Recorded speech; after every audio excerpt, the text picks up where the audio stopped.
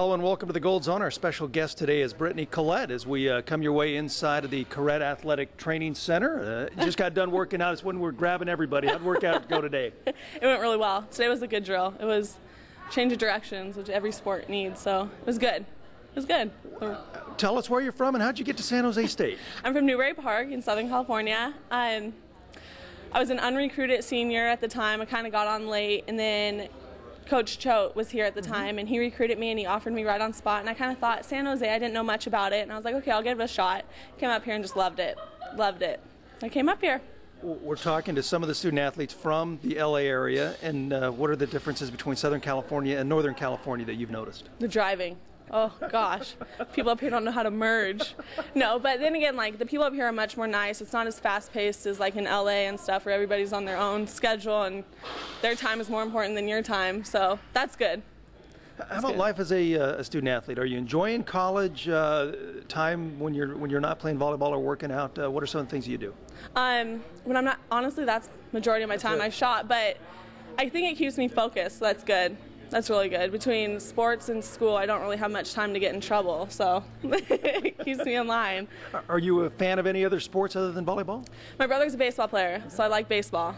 Really like baseball. Do you have a, a favorite baseball team? Um, he's with Detroit, so I'm a fan of Detroit. Your brother plays for in the Detroit system. Mm-hmm. He's in the minor league. So. What, what level is he at? He's in high A right now. Okay. What what did he? Uh, what was his route to becoming a professional baseball player? He signed right out of high school. He was supposed to go to Fresno State. Thank God he didn't, or else we'd have bad blood in the family.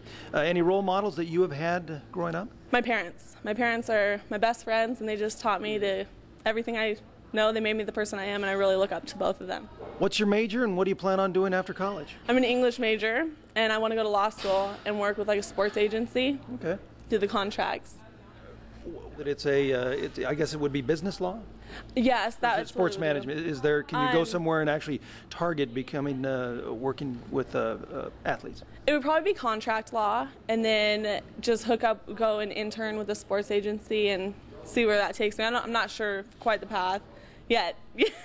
Got two more years. When you rent a DVD or go to the movies, what kind of movies do you watch? Comedy.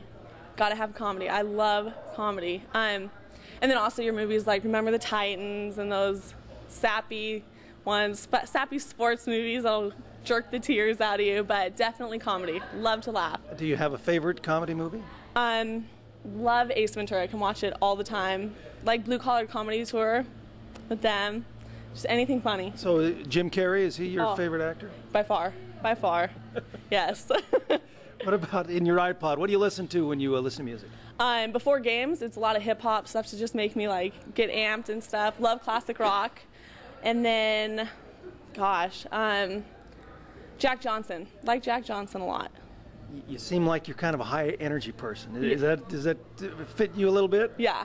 I mean, once you're up, just get going. Just get going yeah, I like I can mellow out and stuff and just sit back and relax. But I like to always be doing something. What are what's maybe something about you that, that maybe your friends don't know or some people don't know about you? Oh gosh, I'm so open. I think they know everything. Um, they don't. I get really shy around like people that I don't know right away, and that's kind of something where people are like, "Are you serious?" I'm like, "Yeah." I get really shy if I don't know the situation and stuff. I'll be really quiet, but then once I'm going. You can't stop me. That's great. That's great. you do any reading in your off time? A little bit. What, what, what kind of books bit. do you like to read? I like They Call Me Coach by John Wooden. That's one of my favorite books right now.